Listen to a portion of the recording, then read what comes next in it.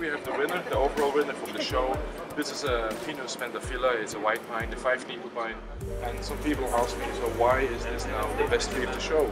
I have to say, we have few trees they are very good in the show. Okay, we have 125 selected trees, but we have five trees almost on the same level, almost on the same level to win.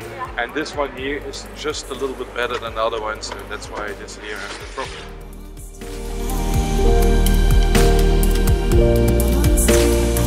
you.